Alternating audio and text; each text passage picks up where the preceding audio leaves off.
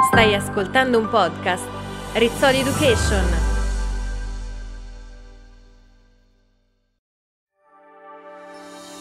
Vite per l'arte. Protagonisti dell'arte del Novecento tra Europa e Stati Uniti di Valerio Terraroli. Henri Matisse. La gioia di vivere e la potenza del colore. Henri Matisse è stato uno dei grandi maestri dell'arte moderna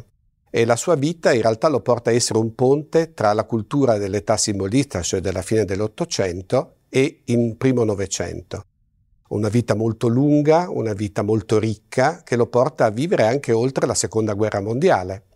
I suoi inizi sono gli inizi, diciamo come tutti i pittori dell'Ottocento, nella scuola di un grande maestro che fu Gustave Moreau,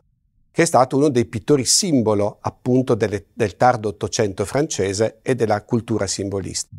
un maestro dal quale acquisisce una passione straordinaria per l'uso del colore e Matisse sarà per sempre e per tutta la sua carriera il maestro del colore. A lui dobbiamo, fra l'altro, l'avvio di quella che è considerata nei manuali e nella storia dell'arte la prima e vera avanguardia storica, cioè l'avanguardia dei Fauve. In realtà non fu un movimento organizzato, questi artisti si enuclearono, diciamo, individualmente intorno alla figura di Matisse, che era lievemente più vecchio degli altri giovani pittori, che giocarono le loro carte, proprio rinnovando completamente il linguaggio artistico della pittura nella libertà del colore, andare al di là del disegno, della tradizione accademica. Da certo, c'erano già stati gli impressionisti, i post-impressionisti, tutto quello che sappiamo, ma quel loro atto, quel loro quella loro novità, quella loro forza espressiva, da cui poi nascerà l'espressionismo, è proprio dovuta all'idea che il colore sia l'elemento di comunicazione, il medium della comunicazione,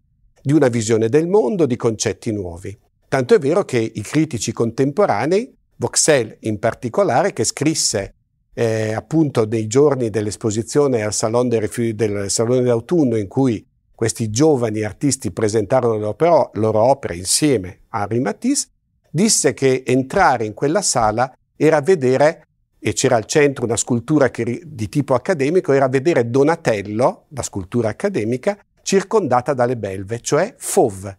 Fauve divenne, diciamo, una specie di marchio di fabbrica, durò pochissimo, perché in realtà i Fauve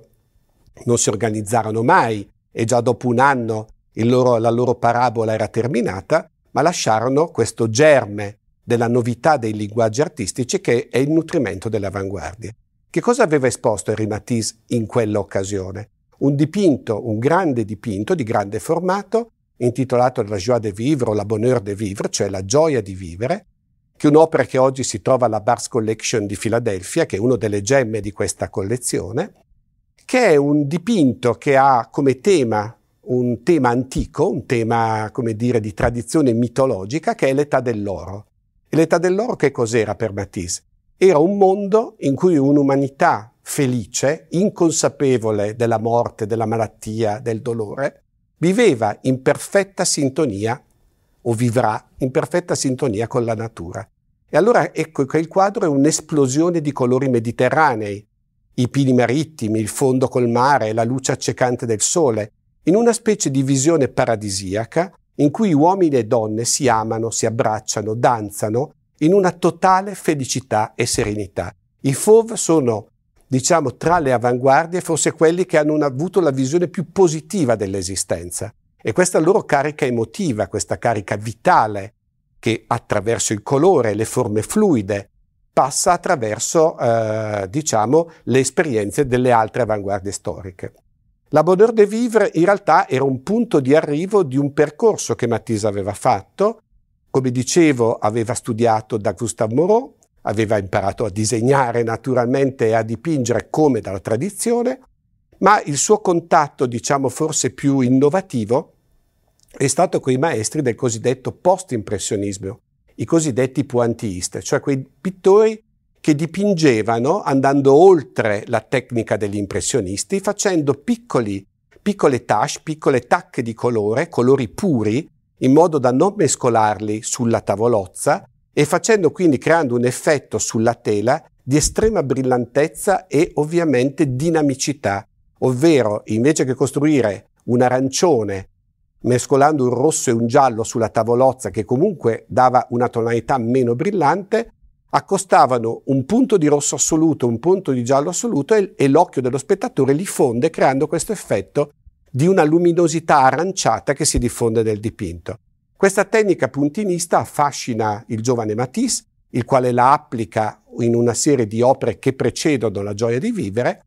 e che nella gioia di vivere supera l'idea del trattino di colore. Il pennello diventa fluido, le sue pennellate sono, come dire, delle morbide nuvole di colore. Al limite le figure, gli alberi, i paesaggi sono delineati da linee, ma non di disegno, da pennellate di colore a loro volta, arancione su rosso, verde su giallo, per cui l'insieme del dipinto crea una come dire, affascinante avvolgimento dello spettatore, dove tutto è dinamico, non c'è una costruzione in profondità con una linea prospettica ormai superata da tempo, non ci sono neanche le ombre, però è veramente, diciamo, un avvolgimento in una sinfonia musicale. E proprio sul tema della musica, a cui Matisse era molto legato, appartengono due capolavori straordinari di qualche anno dopo, intorno al 1909, un personaggio di rilievo nell'ambito collezionistico, Sergei Shukin, un commerciante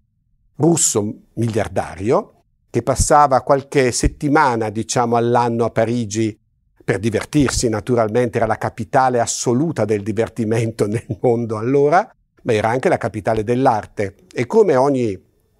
buon borghese voleva dotarsi di una collezione d'arte da mostrare ai suoi concittadini. Abitava in un grandissimo palazzo moscovita e in questo palazzo Shukin decide, proprio a cavallo di quegli anni, in realtà aveva iniziato la collezione alla fine degli anni 90 dell'Ottocento, comprando impressionisti, Renoir, Monet, eccetera, eccetera. Poi anche comincia a comprare Matisse, qualche Picasso del primo periodo.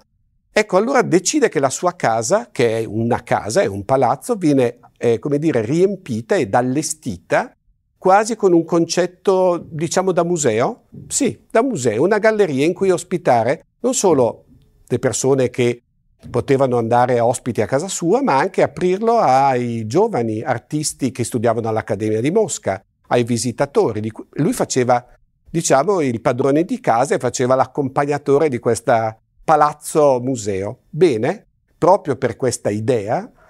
Shukin decide nel 1909 di scrivere a Matisse, che conosceva, con cui aveva rapporti molto stretti,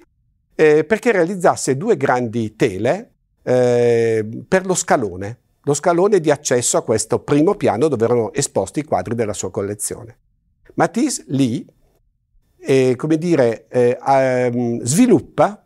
questo tema che nella gioia di vivere è il tema centrale, sullo sfondo ma è lo tema centrale, che è una danza, un ballo, una sorta di girotondo felice, inconsapevole, costituito da cinque donne, cinque figure femminili, cinque nudi femminili, non più descritti in modo realistico naturalmente, ma come spiriti della natura che danzano, felici, in un luogo senza tempo, in un'eternità che è il futuro, che è il passato, che è quell'età dell'oro che dalla tradizione classica tutti auspichiamo di vivere.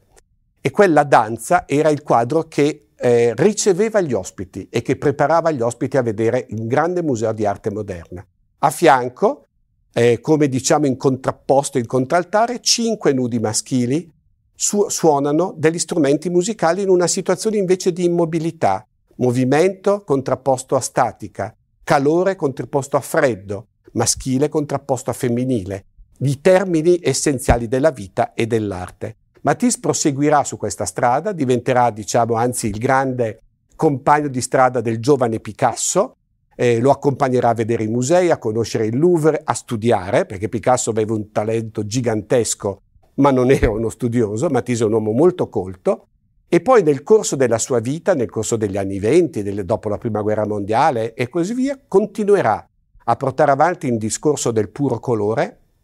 con una potenza e una forza espressiva che addirittura influenzerà i pop artisti come Andy Warhol, che imiterà i grandi, con grandi fiori, cosiddetti flowers, imiterà appunto i grandi fiori di Matisse che chiudono la sua carriera. Seguici su rizzolieducation.it per ascoltare le prossime puntate di Vite per l'arte, protagonisti dell'arte del Novecento tra Europa e Stati Uniti, di Valerio Terraroli. Hai ascoltato un podcast? Rizzoli Education